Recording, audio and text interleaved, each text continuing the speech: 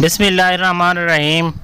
आज के धरना अपडेट्स ये हैं कि जमात इस्लामी के अमीर ने धरना से खिताब करते हुए जो मौजूदा हुकूमत है, उसके ज़मीर को झंझोड़ने की कोशिश की और शाम को धरना मुजाहरीन से खिताब करते हुए कायदीन ने कहा कि कल दो बजे ताकत के साथ इन अपने मुतालबात पे डट जाएँगे और मुतालबात की मंजूरी तक ये धरना जारी रहेगा। और तमाम डिस्ट्रिक्स में कलम छोड़ हड़ताल की जाएगी और गवर्नमेंट से मुतल किसी काम को हाथ नहीं लगाया जाएगा।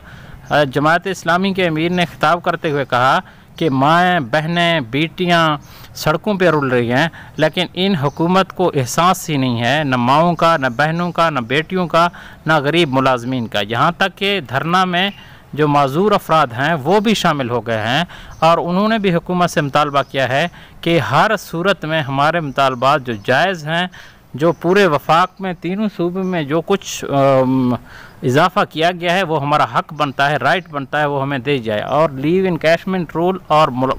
जो पेंशन से मुतल रूल्स हैं, वो भी ख़त्म किए जाएँ, जो इस हुकूमत ने किए हैं। अब यहाँ तक के जो लाहौर रंग के साथ साथ बोल न्यूज़ ने भी इस धरने को कवरेज देना शुरू कर दिया है। और मेन स्ट्रीम में आने की वजह से अब इन मुतालबात जल्द ही मान लिए जाएँगे और खुशखबरी जल्द ही सुनाई जाएगी। थैंक्स अल्लाह